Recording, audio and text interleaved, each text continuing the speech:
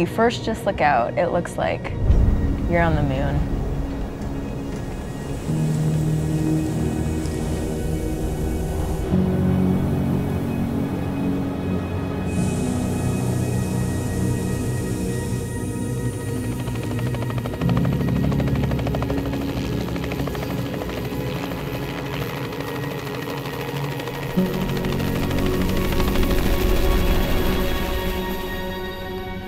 Sea ice is just these huge white expanses that are cracking and moving. It's never the same. Blows my mind that a bear adapted to live on this landscape and thrive in this landscape.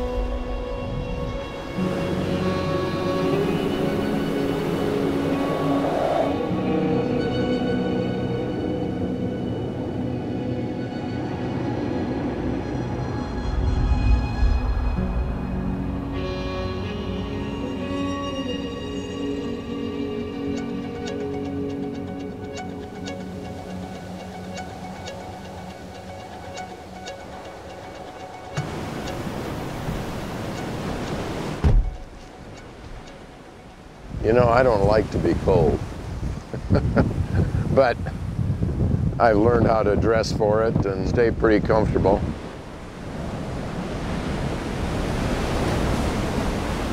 We got to keep looking up and down the beach because it's highly likely a bear could walk up on us.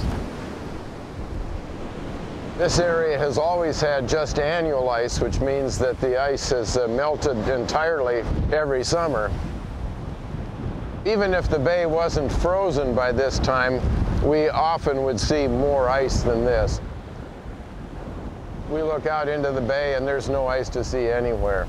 And that means that the polar bears have to fast for a longer period because there's really nothing for them to eat on land.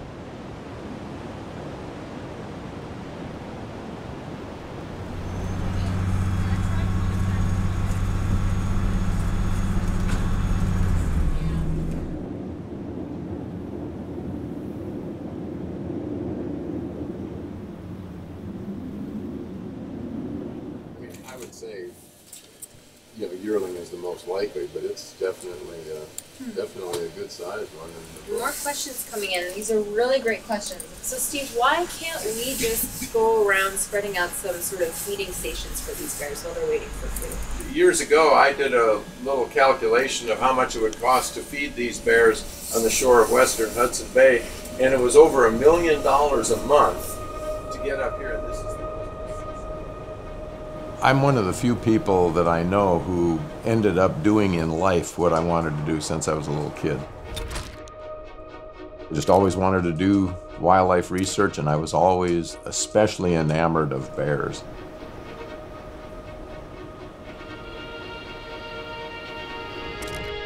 I've been working on polar bears nearly 40 years, and I've helped to get polar bears listed as a threatened species under the U.S. Endangered Species Act.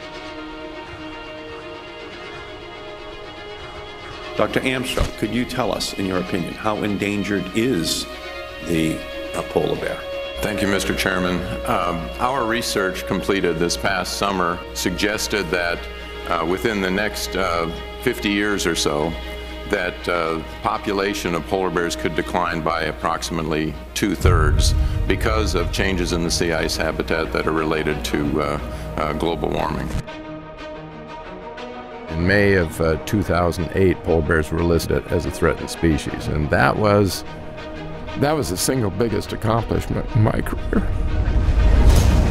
More than 15,000 scientists are sounding pace an of sea ice decline and surface ocean warming is unprecedented. 95% of the oldest Arctic ice has Experts are melted. telling us that the ice is reaching one of its lowest minimums in decades. Polar bears are worse off than we thought. are melting under Sources are disappearing. This is shocking It's a whole ecosystem that is threatened. Unfortunately, the rest of the story is here we are 10 years later, and we really haven't done anything to save polar bears. We need to dramatically reduce carbon emissions. We're running out of time.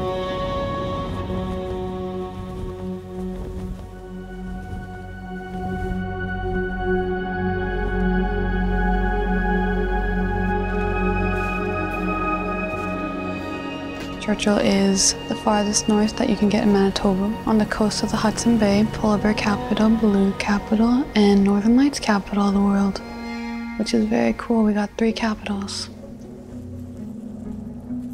I moved in with my grandma when I was 10.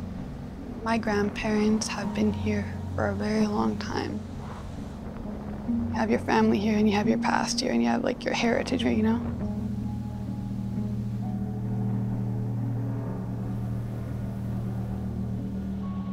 I work three jobs and then I work two jobs around the school year.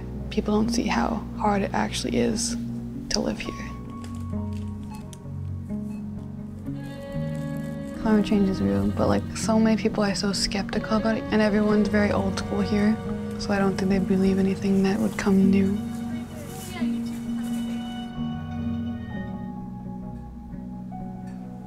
The biggest changes is the ice and how it doesn't come in at the right times, doesn't break apart at the right times. I was never really scared of polar bears because it seemed like such a common thing that people had to deal with here. Me and my friend were walking up the street right after volleyball. And at the end of the street, a mother and a cub ran by, and then we turned around, we just started running, which is not the thing you're supposed to do. You're supposed to like drop stuff and like be careful and like walk back slowly. I think that Churchill kind of depends on polar bears, because if we didn't have tourists, we wouldn't really have much of a town.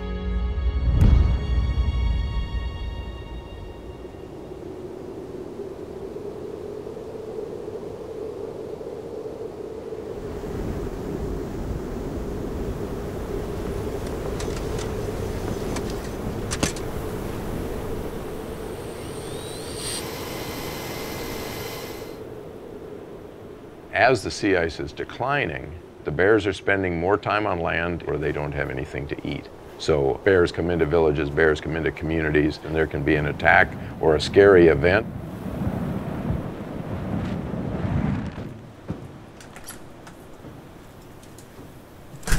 One of the things that we really can do to help polar bears is try and minimize those interactions, developing early detection systems, developing ways of chasing the bears away before they get into a situation where either a human is injured or a bear has to be shot. This is compact surveillance radar, a system that we're testing as an early warning detection system for polar bears. In the last couple of hours, we have something like 10 or so different targets that this system has picked up and so our hopes is that a system like this could be used in the communities in the north to help detect polar bears before they get into trouble.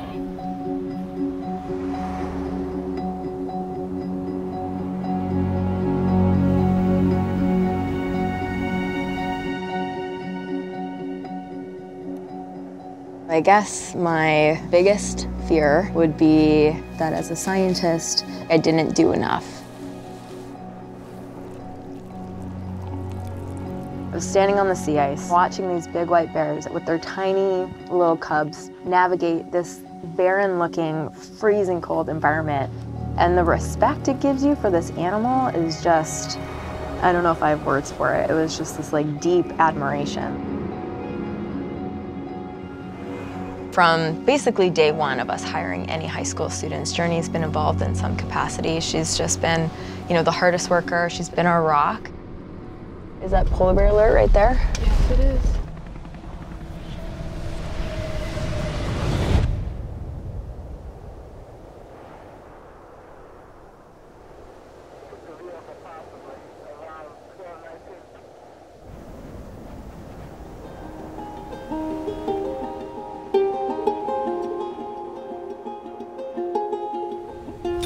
Before I started working with Polar Bears International, I took a job in Alaska to take over the polar bear research program. It was dedicated research trying to understand everything we could about polar bears. Movements, distribution, denning, population dynamics. The scientific community had been talking about global warming and the climate changes that it was causing for quite a long time. All over the world, habitat was gradually declining. Suddenly, it was more and more difficult to get out on the ice in the fall. The bear population was not looking good. They make their living by feeding on seals that they catch from the surface of the sea ice. So the survival of cubs wasn't as good. The animals didn't seem to be as big, as vigorous. And that's been the trend that we've been on ever since.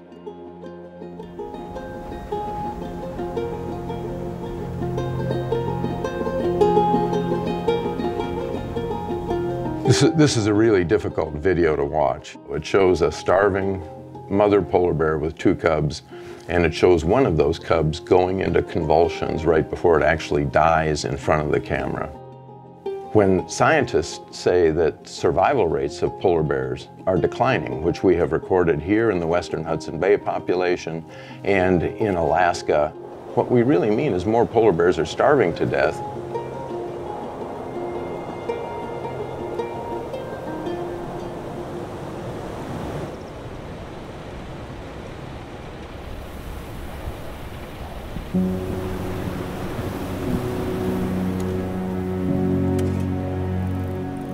Perhaps the most important thing to do at this time is to make sure that we communicate science that I've personally learned, the science that others have learned, and inspire people to change things that they buy, change the way they eat, and most importantly, change the way they vote.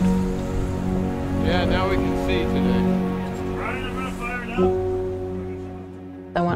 Make an impression. I want to excite young men and women. And maybe it's not directly polar bear related, but maybe they're inspired enough to go make these daily choices that are going to add up huge over their lifetime to just make the future cleaner and better. Global warming turns our normal conservation model on its head. We used to always think that, well, we'll collect some information, we'll figure out what we need to do to protect this population. We can build a fence, we can hire some game wardens, we can tighten up the hunting regulations, but we can't build a fence to protect the sea ice from rising temperatures. So today's challenges require a whole cast of other things that we need to do. We know how many uh, classrooms are logging into this? Looks like a few thousand are tuning in, at least, yeah, plus the viewers. Wow. Yeah. We have taken the best available science, digested all of the observations that we've made and that many of our colleagues have made over the years, and turned it into messaging for all age groups across society. So the biggest threat to polar bears is the loss of their home, their habitat, the sea ice. I run our education program. I get to talk to kids all over the world about polar bears, help them get motivated to do something for polar bears no matter where they live. This job is probably the most interesting thing that happened here. Like at the Northern, I'd just be stocking shelves right now. Here, I've done so many incredible things. I don't know, it just broadens my horizons.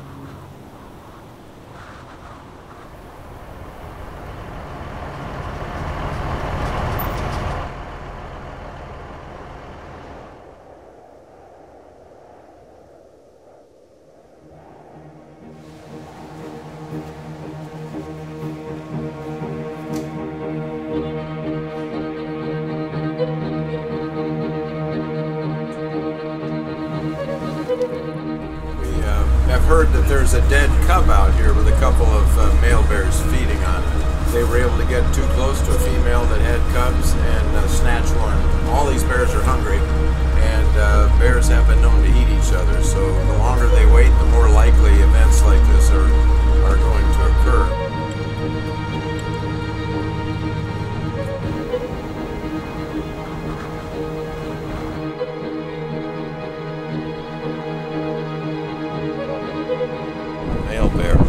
Was able to catch and kill one of the cubs.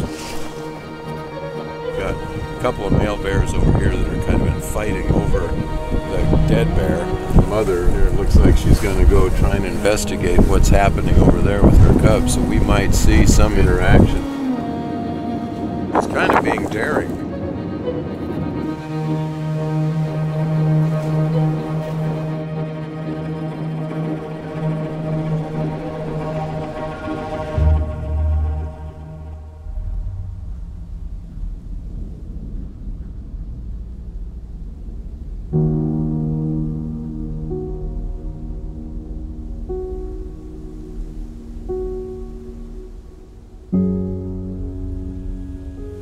In and grabbed the remains of her cub and started dragging it down the beach.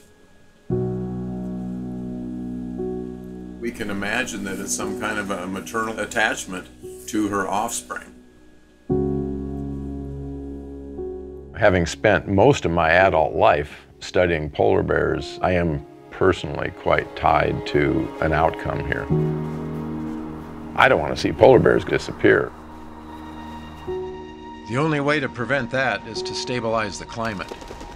And the only way to stabilize the climate is to halt atmospheric greenhouse gas rise.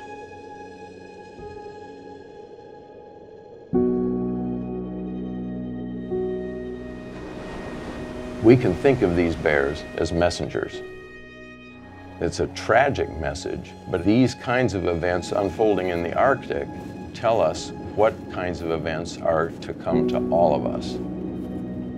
We could expect really major changes in the ecosystem here that are way beyond just the loss of polar bears. If we act within the next 10 to 12 years, we'll halt a lot of those other changes we can save a world that's still pretty similar to the one that we've all known. If we let it go much beyond that, it's going to be a very different world.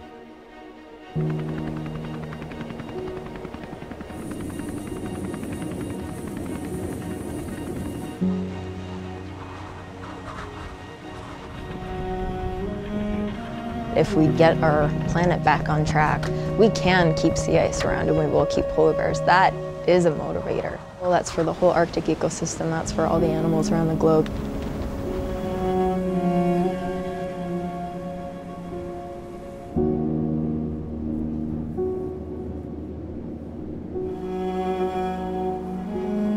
I think the saving the bears equals saving the people because you're saving communities.